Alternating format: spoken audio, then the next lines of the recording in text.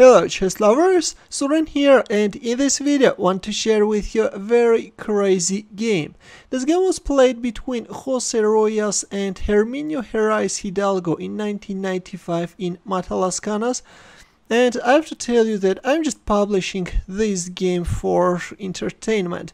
Let's see what happened on the board. Jose Reyes, who was playing with the white pieces, opened up with f3 and Herraiz Hidalgo responded with e5. Here, of course, Jose Reyes didn't go for g4, but instead he made another crazy move, he played king f2. I have to tell you that at the time of this game White's rating was 21-35 and I'm sure that he was just trolling his opponent, he was higher rated. Black's rating is 2260. And now let's see how will Black punish his opponent for this stupid, yeah, let's call this stupid for the stupid moves. Knight c6 by Herraiz Hidalgo, d3 f5, g3 knight f6, a3, and we have bishop c5 check.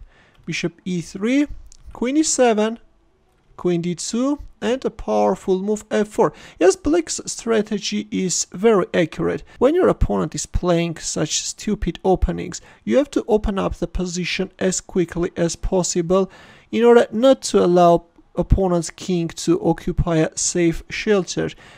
Here white played bishop takes c5, queen takes c5 check and king e1. Well, if we move like king g2, then black can play knight d5 with Knight e3 threat, of course, this can be very unpleasant for white, that's why in our game we have king e1, knight d4, the threat is knight takes c2 check, that's why white played knight c3, and this time we have knight d5. Both black wants to lure away white knight, and also black knight is eyeballing on e3 square. Here we have knight h3, and there it goes, knight e3 is on the board. Black's position is totally winning. Rook c1, d5, knight f2 and black castles kingside, knight d1. White's position simply looks miserable, a5 not even allowing any possible b4 moves, knight takes e3, f takes e3 and now white can't even capture on e3 because of this knight takes c2 check. That's why after f takes e3 we have queen d1.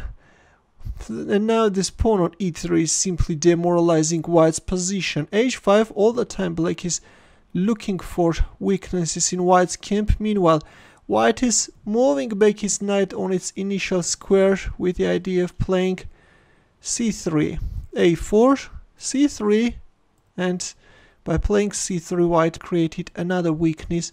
There it goes, knight b3 is on the board, rook c2, bishop f5, still white is holding, but of course, victory is a matter of moves. Queen d6, bishop h3 and queen g6. The threat is queen takes g3 check followed by queen f2 checkmate. Here we have g4, h takes g4, rook g1, and as we have reached the critical position, please pause the video and try to find black's next move.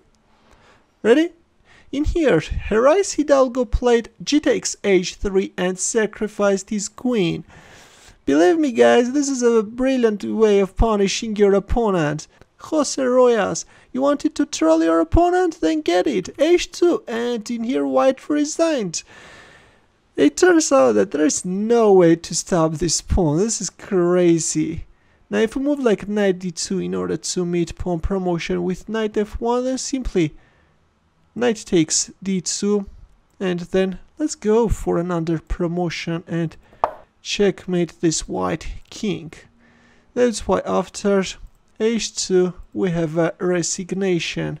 Herraiz Hidalgo simply punished his opponent for those crazy moves and left him no chance to survive. In the end, as usual, a chess puzzle for you where the task is to find the winning line for white. It's white to move and I will wait for your answer in the comment section. Thanks for watching. In the end, here are more suggestions for you. Feel free to check them out as well. I will see you in my next video. Take care.